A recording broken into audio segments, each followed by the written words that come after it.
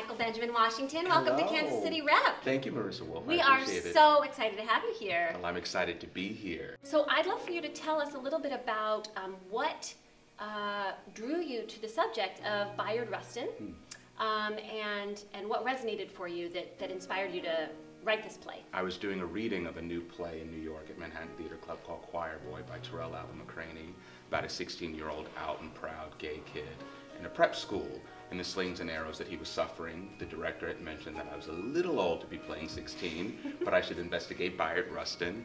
I had no idea who he was, I'm sad to say, but I ordered a documentary called Brother Outsider. It took a year to come.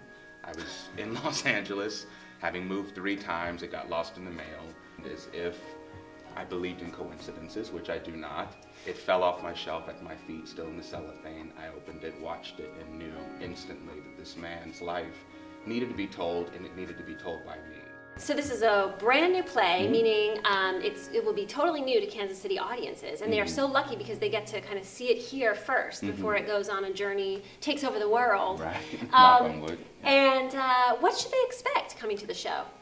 Well, I hope it's not spinach. It's not supposed to be a history lesson, although I love history. Mm-hmm. It's not a rant on race, although it does regard culture and politics. Mm-hmm. It is a story about togetherness. It should inspire people to make a change. It's a story about the crossbreeds of black, white, gay, straight, all coming together to help eradicate poverty, mm-hmm. to make the next generation have more benefits than the last generation did.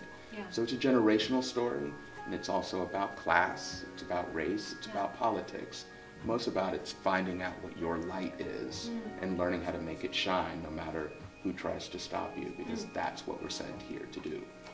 I think one of the big things about Bayard Rustin is uh, one of the metaphors that I've heard is that he lived his life in the shadows mm. and wondering what the shadow was versus the light.